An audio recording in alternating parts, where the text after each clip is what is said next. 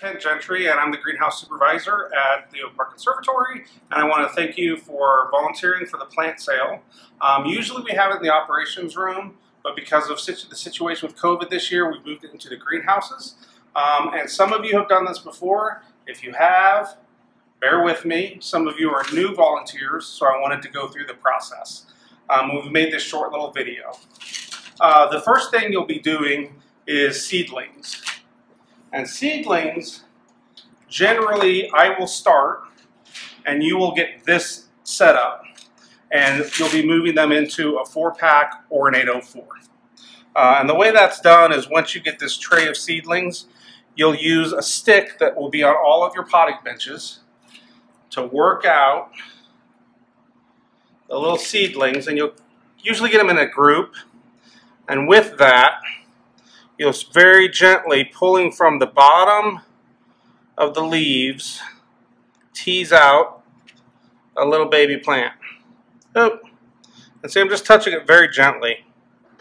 And so that is what you have to work with. And I'm just holding it below these leaves kind of gently in my finger. And everybody has a little technique with this. Just don't pinch it. Um, so from there, you'll use your little pokey stick that you'll have and gently place that seedling in the soil and you can use the stick to push it down to where it's just above the soil line and that's it. You don't want to push down in, you just gently want to place it. And when I when we when I go to water this, that's what's going to settle it in. And then after you have a full tray done, you'll have these white tags, and on that you'll write the name of the plant that will be in here. Here's one that's already done. Um, and on the back of that, put F for FopCon, or Friends of Oak Park, or P for Park District. You'll be doing both kinds of plants, and it will say on there. Um, so you just need one per flat, and you'll put that in the front, if I'm the front, um, left-hand side, just for consistency when we line these up in the greenhouses, and I can see what the plant is and who it's for. And that is it for seedlings. So then once you, they've grown up a little bit, this is the same plant, um, a couple of weeks older. This is called Gaillardia. Um, then we'll move this from a four pack into the four and a half inch, which is the final pot for sale. So you'll be given this flat of pots filled with dirt.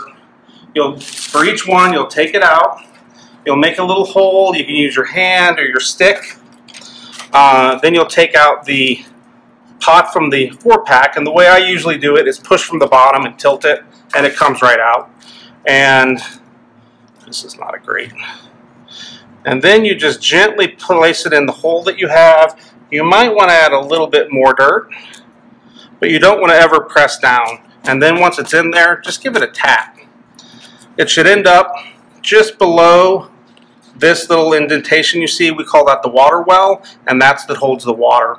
Um, so once that's in, you'll want to take a finish tag that will be, be provided for you, and for each pot, go ahead and put that on the left-hand side and put it back into the flat. And this should have uh, labels in every single pot once you're done, and then you'll take this and set it aside.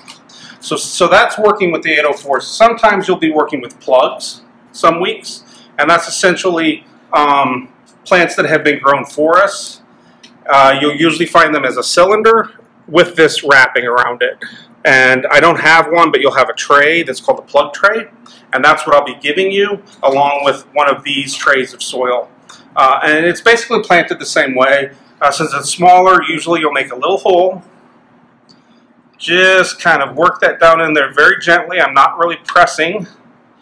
And then gently push the soil back to where it covers the base of the plant, what's called the crown. And then you'll, once again, give it a little tap, and that's all it needs. And when I water it, that'll settle the plant in. And that's it.